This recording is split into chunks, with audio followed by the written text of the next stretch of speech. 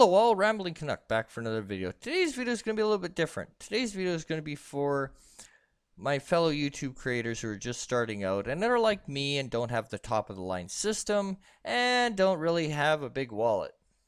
So today what I'm going to do is I'm going to show you the video editor that I use, which is VSDC.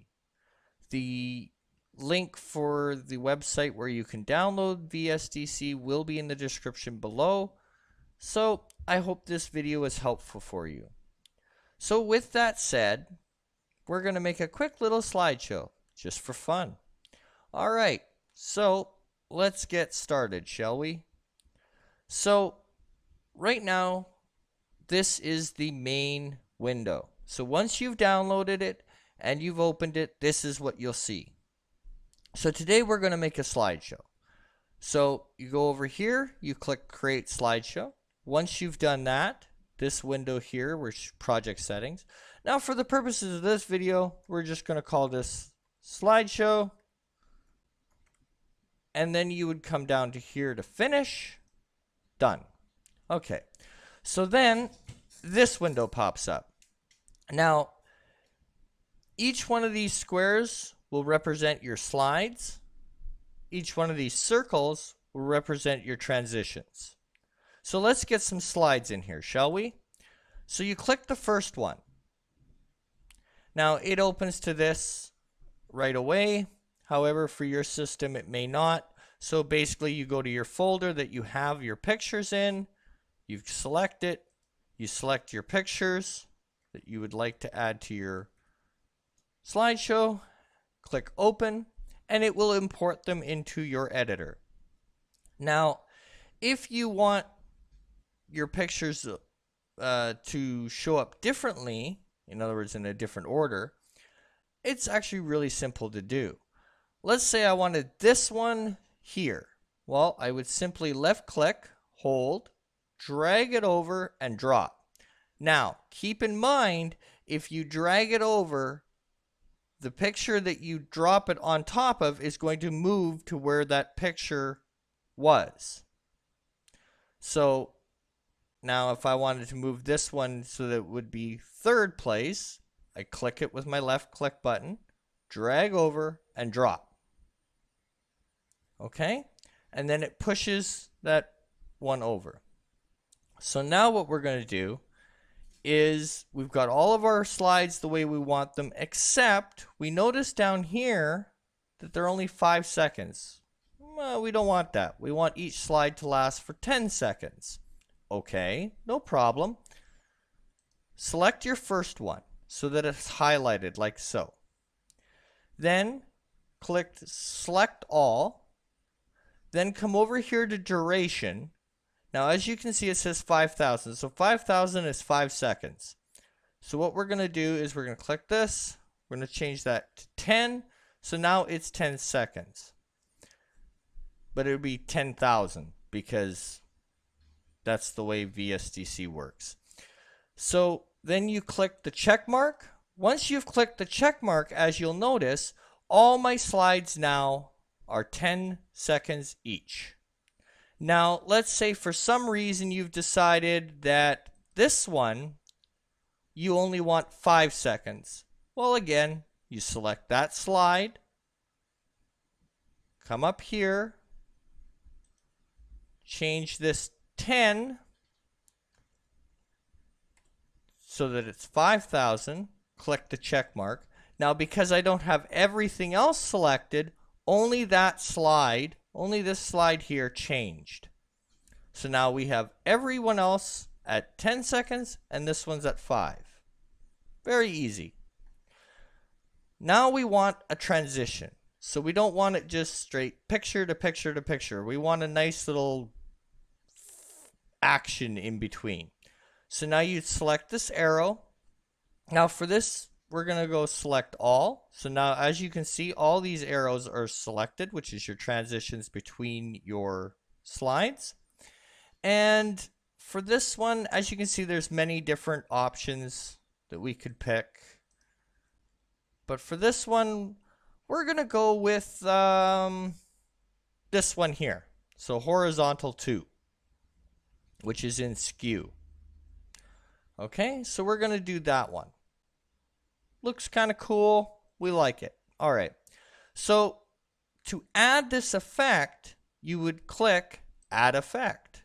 And because I've had I, I had selected select all, every single one of these transitions is now our horizontal 2.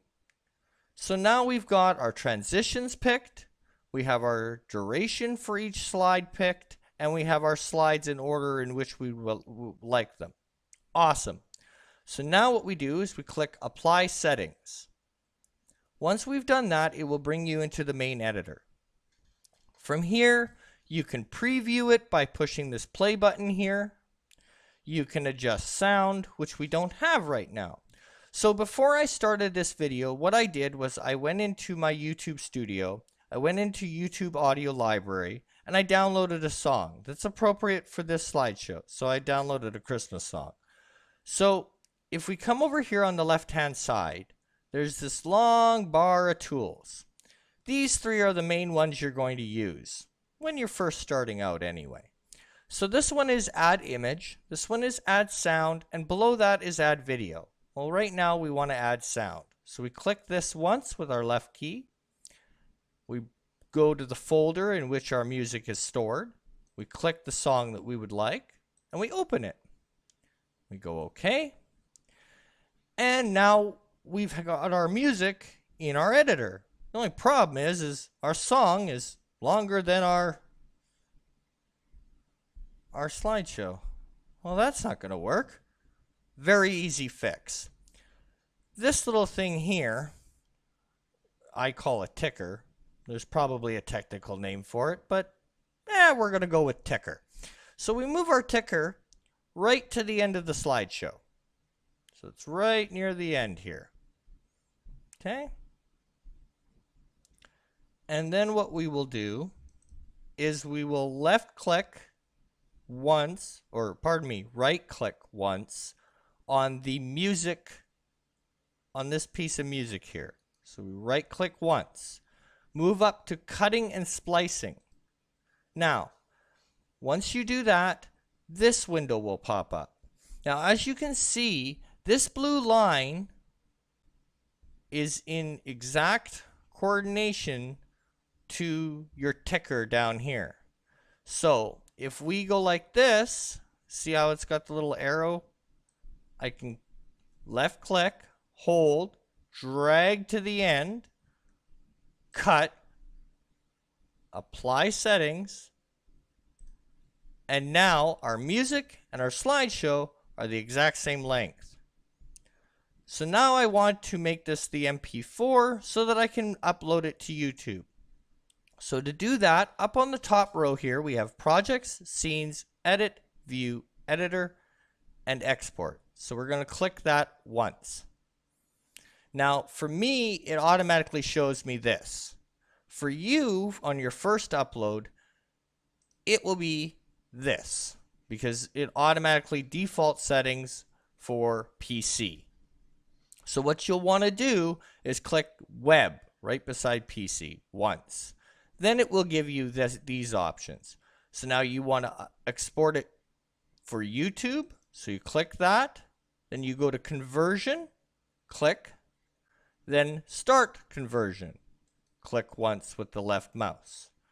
Then you go continue, and then it will convert your slideshow project into an MP4 that you can upload to YouTube. So we're going to, because this one is a very short one, it won't take very long. So we're going to sit here for a couple of seconds while it converts. And then I'll show you where these files are typically stored, and then we're done for the day. So I hope that this video will be helpful for you guys. I know this isn't really rocket science or major editing, but it is a fun little editor. It gives you pretty good options for for being a free program and again, it doesn't task your system. So I definitely recommend it. I use it for all my videos. So, hopefully this is helpful for you guys. Alrighty, and we are almost done. Yay! Okay, so now VSDC will ask you if you want to upload to YouTube right away, right from VSDC, because that is possible. However, for today, we're just going to say no. Now you have your slideshow. It's been converted to an MP4. Where do I find it? Well, that's actually really simple. If you have Windows 10, you'll see this little folder. Click it.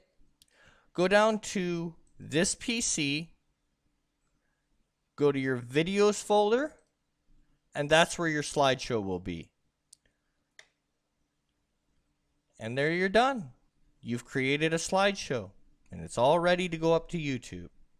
So I hope again this video has been helpful for you guys, and I definitely strongly suggest VSDC video editor, especially if you have like a really uh, an older system like I do, or you're on a budget I really, really recommend this. It, it's helped me be able to make my videos a little bit more attractive, and I hope it helps you. And until next time, take her easy, folks.